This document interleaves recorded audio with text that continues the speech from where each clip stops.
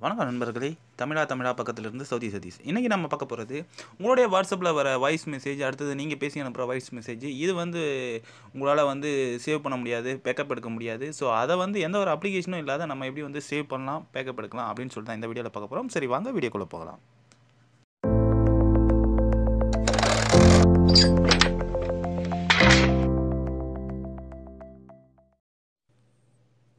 இது வரைக்கும் தமிழா தமிழா சேனலை நீங்கள் சப்ஸ்கிரைப் பண்ணலாம் சப்ஸ்கிரைப் பண்ணிக்கோங்க.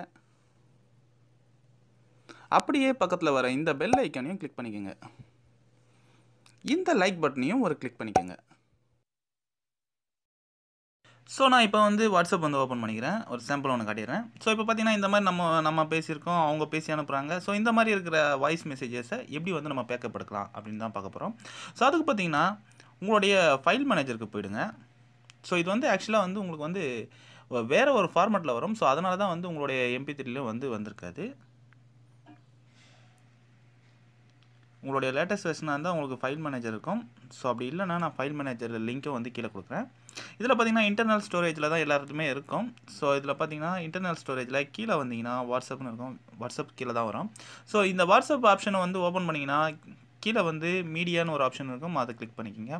கிளிக் பண்ணிவிட்டு அப்படியே கீழே பார்த்தீங்கன்னா வாட்ஸ்அப் வாய்ஸ் நோட்ஸ் அப்படின்னு சொல்லிட்டு இருக்கும். அதை கிளிக் பண்ணுங்கள் கிளிக் பண்ணிவிட்டு இப்போ பார்த்தீங்கன்னா நான் இதை கிளிக் பண்ணுறேன் இது பார்த்தீங்கன்னா இந்த மாதிரி இருக்குது இதை ப்ளே பண்ணோம்னா இந்த மாதிரி வரும். ப்ளே ஆகாது.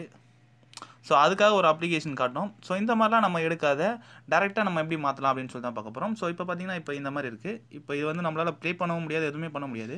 அதை ஜஸ்ட் வந்து ஒரு லாங் ப்ரெஸ் பண்ணுங்கள் லாங் ப்ரெஸ் பண்ணிவிட்டு மேலே இருக்க அந்த மூணு கூட கிளிக் பண்ணுங்கள் இந்த ரீநேம்னு இருக்கும் அதை கிளிக் பண்ணுங்கள் ஸோ இந்த இடத்துல பார்த்தீங்கன்னா இந்த ஓபியூஎஸ்னு இருக்குது பார்த்தீங்களா அதை டெலீட் பண்ணிவிடுங்க டெலீட் பண்ணிவிட்டு எம்பி த்ரீ அப்படின்னு சொல்லிட்டு கொடுத்துட்டு ரீநேம் கொடுத்துருங்க.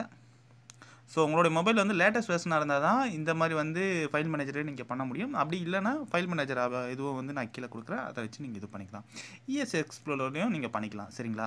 ஸோ இப்போ பார்த்தீங்கன்னா இப்போ ப்ளே பண்ணுற பாருங்கள் இப்போ பார்த்தீங்கன்னா ரெண்டுத்துக்குமே வந்து டிஃப்ரெண்ட் தெரிஞ்சிருக்கும் உங்களுக்கு. நார்மலாக வாட்ஸ்அப்பில் வந்து சேவ் ஆகிற ஃபார்மேட்டு கீழே இருக்குது. இப்போ நம்ம சேஞ்ச் பண்ண ஃபார்மேட் வந்து மேலே இருக்குது. இப்போ பார்த்தீங்கன்னா நான் ப்ளே பண்ணுறேன் பாருங்கள்